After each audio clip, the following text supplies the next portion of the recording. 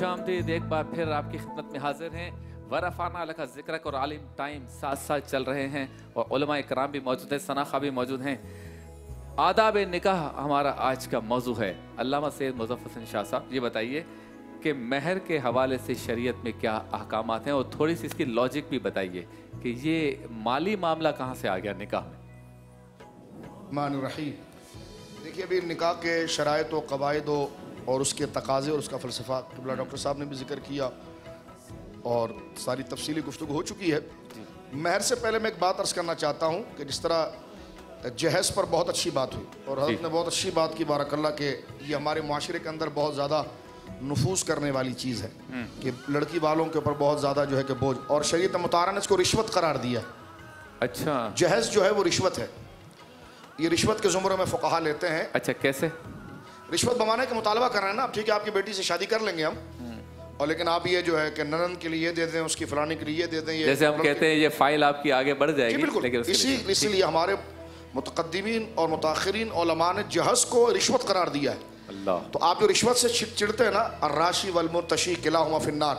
وہ جہز پر بھی صادق آتا ہے۔ اچھا۔ اور اس میں جو بیچ میں سارے معاملات جو کی تو اس کی بھرپور مذمت ہونی چاہیے۔ جس طرح حضرت نے فرمایا نا کہ یہ ہندوانہ رسم ہے۔ لیکن اگر لڑکی والے خوشی سے دوسری شرط میں آپ کو بات بتاؤں۔ دوسری علماء نے یہ لکھا ہے کہ لڑکی کو اگر اس کے ماں باپ ٹھیک ہے نا؟ کوئی چیز اپنی طرف سے دلانا چاہے تو دلا سکتے ہیں لیکن اس کی مالک پھر وہ لڑکی ہے۔ ہاں۔ ٹھیک ہے نا؟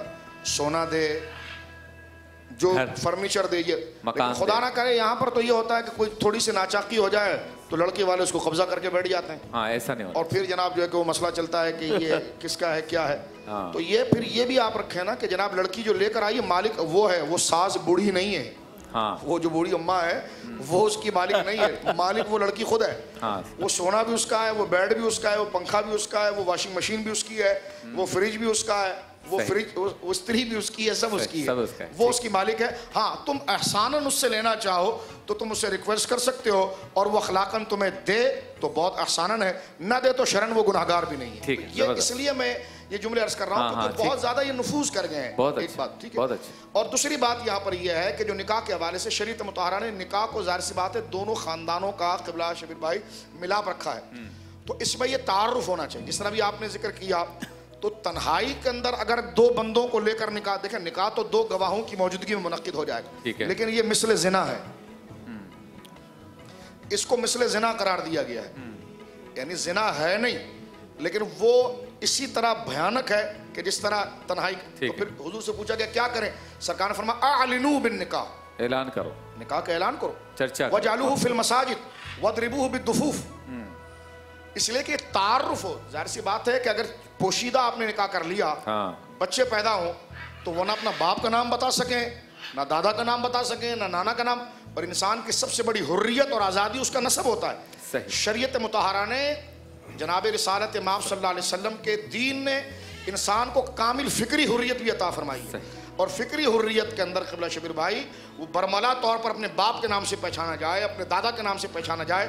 اپنے نانا کے نام سے پہچانا جائے اور جہاں پر نصب پر کسی صورت میں قدغن یا اشتباہ لازم آتی ہے شریعت مطالعہ اس کے سامنے جا کر کھڑی ہو جاتی ہے کہ نہیں نصب کے اندر اگر کوئی اشتباہ لازم آئے شک لازم آئے کہ ابا کون تھا یہ وہ تھا۔ اب اس لڑکی کے لیے ایک تہمت ہے کہ جناب یہ بچے کہاں سے لے کر آئی؟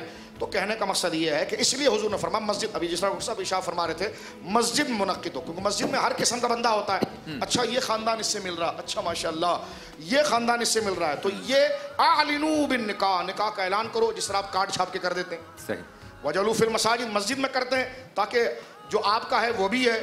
جو عام محلے والا سارے اہل ایمان دیکھ لیتے بھائی یہ دو خاندان آپس میں مل رہے ہیں۔ اور فرما وَضْرِبُوا بالدفوف یعنی دف بجا کر مراد یہ کہ اس کا مکمل طور پر اعلان۔ ہو جائے۔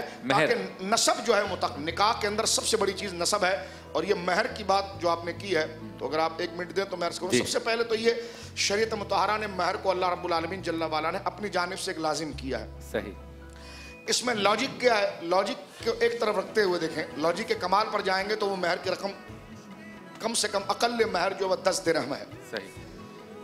اور زیادہ سے زیادہ مہر کتنا ہے؟ تو شریعت مطالعہ نے یہ کہا ہے کہ لڑکا جس میعاد کا ہے جس بساط کا ہے اس کی جو استطاعت ہے اس کو دیکھ کر آپ مہر رکھیں۔ ٹھیک ہے نا؟ یہ کہ وہ دے ہی نہ پائے۔ ایک بات۔ تو مہر ایک تو اللہ رب العالمین جل والا کی جانب سے ہے۔ یہی دو بول۔ اگر وہ تنہائی میں ایک دوسرے سے کہہ دیتے ہیں تو حلال نہیں ہوتے۔ صحیح۔ یہی دو بول۔ مہر کے ساتھ کہہ دیتے تو حلال ہو جاتے ہیں۔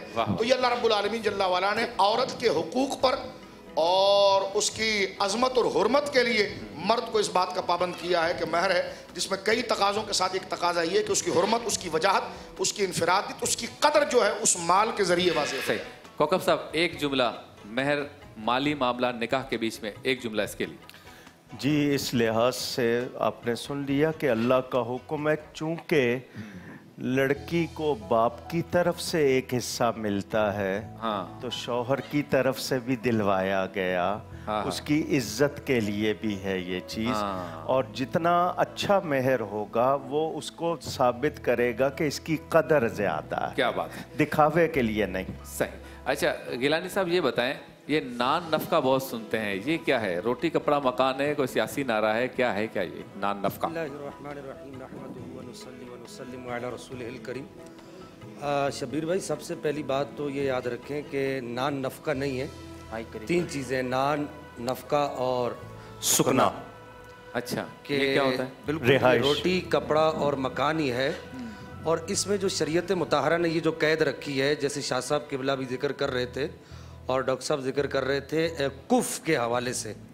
اگر کف میں نکاح کیا جائے تو یہ نان نفقہ اور سکنا کے جو معاملات ہیں وہ شریعت مطہرہ کی بالکل مرضی کے مطابق قرار پائیں گے۔ اچھا، کف کیا؟ اور کف یعنی برابری کے خاندان میں نکاح کیا جائے۔ ایسا نہ ہو کہ لڑکی کا خاندان بہت بڑا ہو ہاں۔ اور لڑکے کا خاندان بالکل نیچا ہو۔ ہاں۔ اس طریقے سے نکاح نہ کیا جائے۔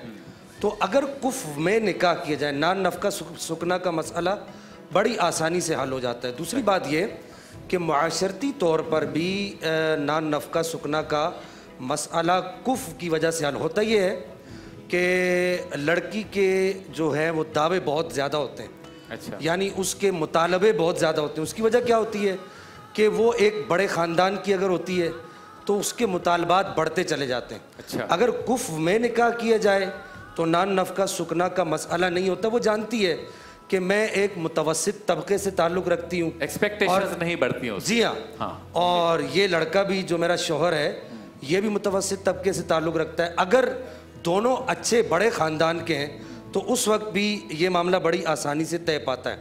اب رہی یہ بات کہ شریعت مطہرہ میں نان نفقہ اور سکنا کی اہمیت کیا ہے؟ ڈاکٹر صاحب نے اس بات کو واضح کر دیا۔ اگر وہ نہیں دے سکتا ہاں۔ تو اسے نکاح کرنے کی اجازت ہی نہیں ہے اچھا۔ کہ نان نفقہ سکنا پورا نہیں کر سکتا۔ تو وہ نکاح نہ کرے۔ اچھا۔ اور اگر وہ پورا کر سکتا ہے تو اس صورتحال میں نکاح کرے۔ جس طریقے سے نان نفقہ سکنا کے معاملات مرد پر جو ہے شریعت مطہرہ نے واجب کیے ہیں اسی طریقے سے کچھ حقوق اللہ جل مجدہ الکریم نے اور نبی پاک صلی اللہ علیہ وسلم نے عورت پر بھی یعنی اس کی بیوی پر بھی لازم قرار دیے کہ وہ شوہر کی جو معاملات ہیں زندگی کے معاشرتی جو اس کی انکم ہے اس کو بھی دیکھے۔ یہ نہ کرے کہ بہت زیادہ مطالبے کرے۔ بلکہ برابر اس کی اہمیت کو دیکھ کے اس کی معاشرتی اور اس کی جیب کو دیکھ کر اس سے مطالبے کرے۔ بہت خوب۔ چلتے ہیں بریک کی جانب واپس لوٹیں گے تو انشاءاللہ تعالی ہاں راشد اعظم صاحب سے کلام سنیں گے مختصر سے وقفے کے بعد۔ السلام علیکم۔ اللہ کی